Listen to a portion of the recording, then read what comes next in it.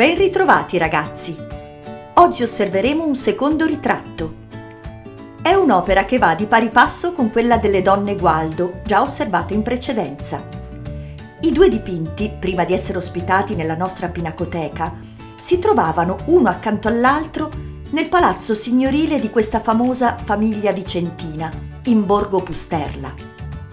Ancora una volta una mano ci invita a leggere il messaggio di quest'opera è una mano decisa, quasi imperiosa, che indica una scritta. Boni et equi. Di chi sarà? Cosa vorranno dire quelle parole in lingua latina? La mano appartiene a Giuseppe, capofamiglia dei Gualdo, famoso giurista vissuto nel Rinascimento, una sorta di avvocato o notaio dei nostri tempi.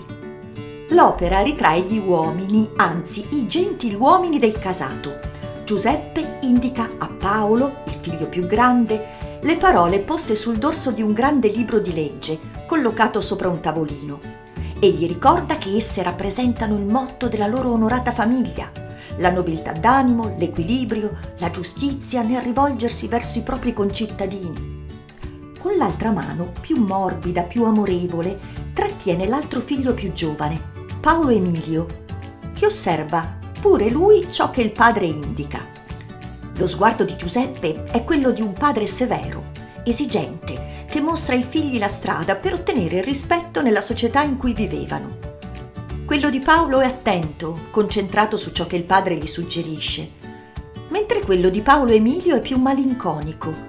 Il suo carattere forse era più irrequieto di quello del fratello e le regole gli stavano un po' strette.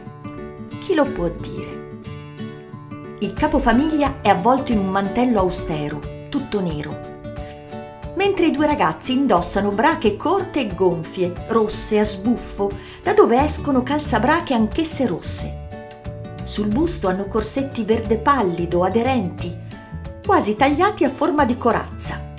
Era la moda di quell'epoca che arrivava dalla Spagna. Tutto lo sfondo è scuro.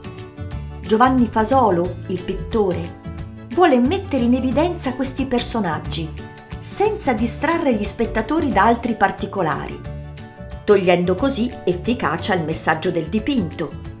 Celebrare la nobiltà e l'importanza sociale dei Gualdo. Il nostro sguardo, infatti, viene catturato soprattutto dai loro visi e dalle loro espressioni, soprattutto da quella di Giuseppe, che sembra comparire improvvisamente dal buio